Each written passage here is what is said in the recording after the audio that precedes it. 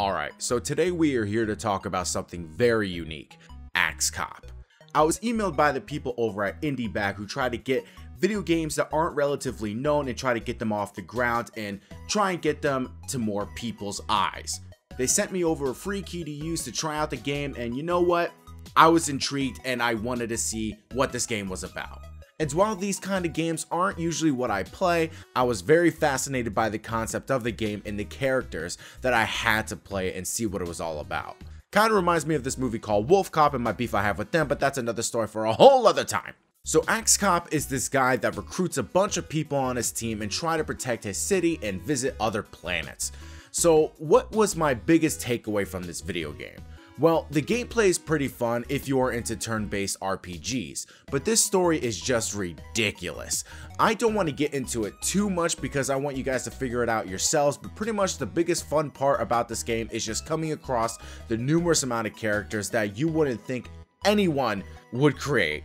So the first level has you going into this place called Land of Volcanoes, where it's just completely inhabited by dinosaurs. You, Axe Cop, must go there, chop their heads off and put them on pikes with your friend that you first meet, Flute Cop. Yeah. And it only gets more ridiculous from here.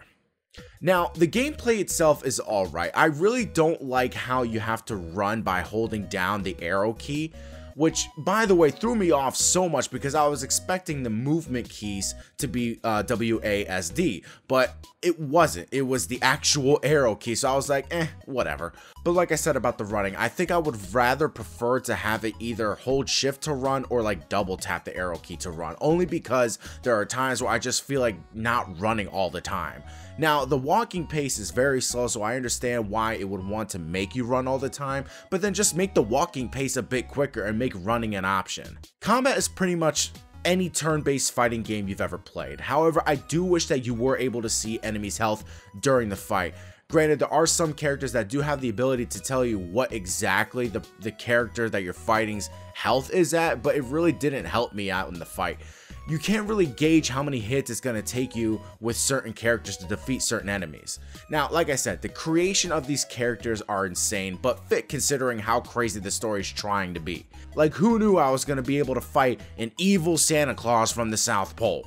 Another thing that does bother me though is that there is no map for any of the levels you enter, so I can never really tell exactly where I am in the game. I can get very lost quickly sometimes and because of that, the enemies that I defeated in the area spawn back pretty quickly, so you'll be going back into fights that I am constantly trying to avoid simply because I am just trying to beat the damn level.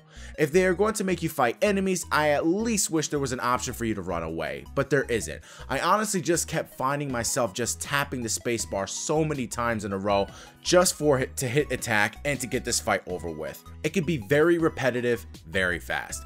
I think the art direction is great because I think the characters in the worlds were creatively put together and the monsters and boss characters are awesome to see. The different kinds of names for all these different heroes and villains are so insane like the nightmare that will never leave me now which is Pretzel Head Man or whatever it is but yeah it's yeah look at that thing.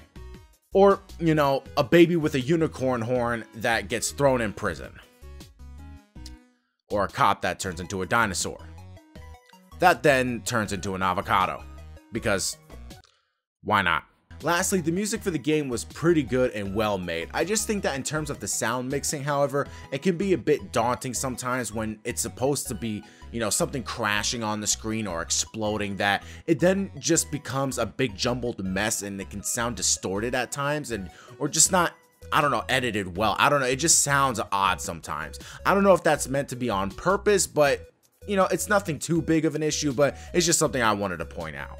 But listen, hey, if you're into old school turn-based RPGs, then Axe Cop might be up your alley. Just be aware of the ridiculousness that comes with the story and characters. I had some fun playing it, and I think a lot of you guys would too. Guys, my name is Pedro Ordonez, also known as GameLight7. Please subscribe, comment, like, thumbs up. Do whatever you guys can to support this channel. Thank you guys so much for us reaching 400 subscribers, guys. I thank you guys so much. If you guys want to continue uh, supporting me even further, there is a link for the Patreon in the description box below if you want guys want to check that out. Thank you guys so much, and I hope to see you guys in my next video. Peace out.